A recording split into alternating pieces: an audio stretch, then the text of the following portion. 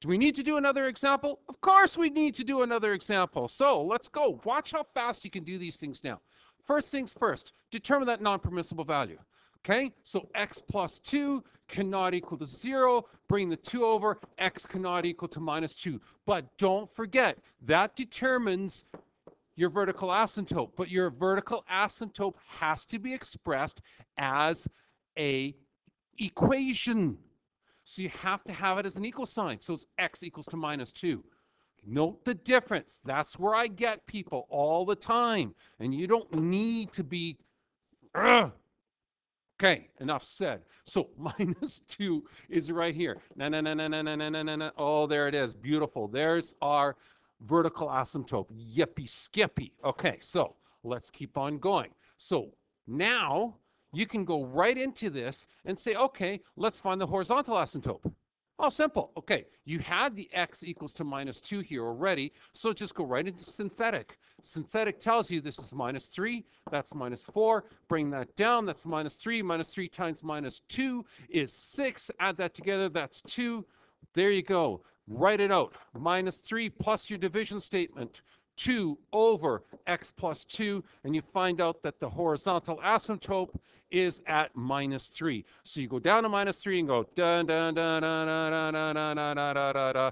There you go. Now, let's put some accuracy to this wonderful thing. Ready? Okay. First things first is let's find then our beautiful x and y intercepts. x-intercept happens, y equals to 0. So make this 0. 0 equals to minus 3x minus 4 over x plus 2. Cross multiply, but a boom, you get a 0. So this is now 0 equals to minus 3x minus 4. Bring the minus 4 over, making it positive. Divide by minus 3. x equals to, of course, 4 over minus 3. So that works out to be minus 1 and a third. And a third. There we go. Wow, that's an ugly looking 3. There we go. Minus 1 and a third. So minus 1 and a third is about here. Beautiful. Now, let's find out the y-intercept. Y-intercept happens when x's are equal to 0. So guess what? That's gone. That's gone, leaving you with y equals to minus 4 over 2, which equals minus 2. There's your y-intercept at minus 2. There we go, right there. Now, check this out. You can actually start graphing this right now. Look at that, goes right through there, right through there. Now, again, since you don't have a nice point on this side of the graph, pick one. Well, I don't know. I don't know what to pick. Well, take a look up here. Let's find something nice. Let's take, um, I don't know. Let's take at x equals to minus 4. Let's do it. Okay, clean this up. Clean this up. Clean this up. Clean this up. Clean this up. Clean this up. Clean this up.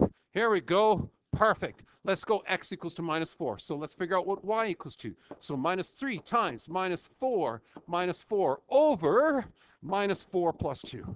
Okay, 3 times minus 4 is positive 12. Minus 4 over minus 2. 12 minus 4, of course, is no thanks I already. Over minus 2. Okay, 8 divided by minus 2, of course, is going to give us minus 4. So at minus 4, I'm going to get minus 4. So there's my point right here. So now you can start graphing it with fair amount of accuracy. Look at that. There you go. There's your graph all done. And look at that. That took us 3 minutes and 51 seconds. Ah! Can we do this well?